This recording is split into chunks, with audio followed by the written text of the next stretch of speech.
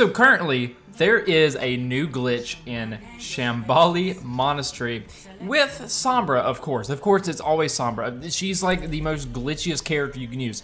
Anyways, I'm gonna show you exactly how to get under the map. So the first thing you're gonna wanna do is actually pick Sombra. When you're on the defender's side, I mean, I guess you could technically do this on attack. It really doesn't matter. Just pick, just pick Sombra, okay? And so you're actually gonna spawn in this little room right here, and it's gonna have these little symbols on the wall, just a point of reference. You're gonna wanna go at this left door, and right where you see these three little bells on the door, here is a staircase that actually leads outside to this little big part with all of the Zenyatas. So as you can see, this little staircase doesn't go all the way to the wall. So right here, there's a little clipping that you can do with Sombra. So what you're gonna wanna do is go right up to the corner, crouch, walk through, and throw your translocator, and boom and now you are under the map. And so it's gonna be a little bit trickier to actually get to your team over there on the payload. Uh, you can either speed this process up by throwing your translocator and it just keeps bouncing and bouncing and bouncing.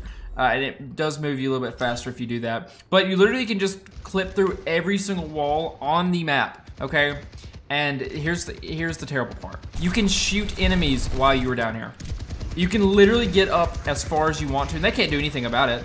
So just, you know, Shoot him. I will say, don't do this in an actual game because this is a, a great way to get banned. I've had a lot of people comment before on other glitch videos that I've done be like, why can I get banned for something that's in the game?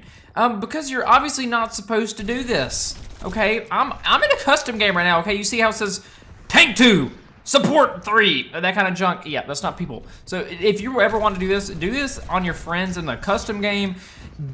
If I ever, if, don't do this in a ranked game. Don't do this in a ranked game, okay? If I ever see somebody do this in a ranked game, I'm gonna have to throw hands, okay? But anyways, I just wanted to show y'all a really easy way to glitch under the new map. Eh, are we? Can we expect Sombra to get, I don't know, yoinked out of the game?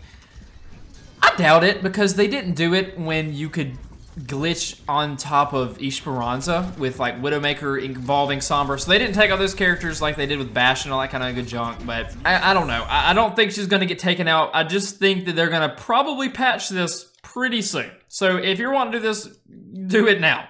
And so the deal with this glitch is there is currently not a way to actually get out of it. I mean, I'm literally in their spawner now. Uh, you can't actually clip off of the edge and die.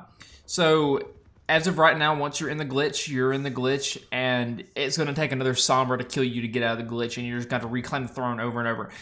But in, again, seriously, this is for educational purposes. Please do not do this glitch. Uh, it is, again, very, very, very scummy to do this. Uh, nobody wants to have a glitch going on that breaks the game pretty much.